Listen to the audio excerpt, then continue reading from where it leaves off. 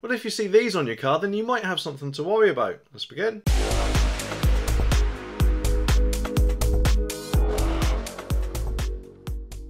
Of course, it seems like in the days we live in now, criminals tend to be more brazen with their actions or crimes and basically appear not to care about any possible consequences. Admittedly, you know, I could be wrong. However, Markans like this tell a different story if this story is anything to go by.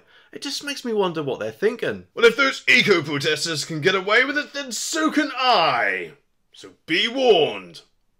The article says that speaking to the Liverpool Echo, Laura Morgan first thought the Markans, which were two sets of different sized crosses, were simply children or teenagers messing about when she first discovered them back in October. However, the Liverpool driver started to grow concerned when she noticed that they were only being drawn on in the ice, which developed as temperatures dropped overnight, and she shared the images with others who said the marks are a sign or code used among thieves and burglars to communicate with each other and indicate who to target. The Merseyside mother has since urged other drivers to check their car windows in the morning for any bizarre markings. Of course, I don't know if it's just me, but I wouldn't think it's very clever of a criminal to share their findings with other criminals, especially if they attempt to break in. Because if they do, then surely the other criminals will just break into it before they get a chance. If they need to come back, that is. So to be honest, that does seem a little bit strange. Although hopefully, as more and more doorbell cameras are about nowadays, it will hopefully be much harder for criminals to break into things and places without getting spotted or identified, and then get their knuckles rapped as a result. However, prison sentences in general don't really seem to be much of a deterrent nowadays because,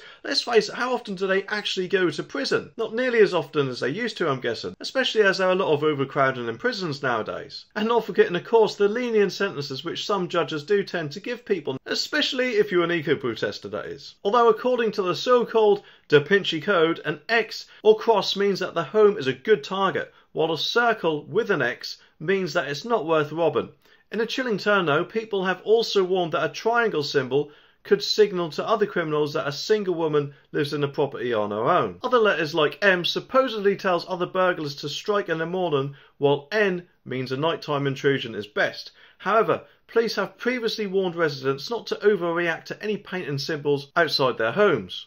Personally, if I come across any Markans, I'd probably be very tempted to turn it into a giant set of gonads, or maybe write them a nice little message with something with the word off written underneath, which reminds me of this video with one of the government's latest brainwaves, or DNA harvesting as I like to call it.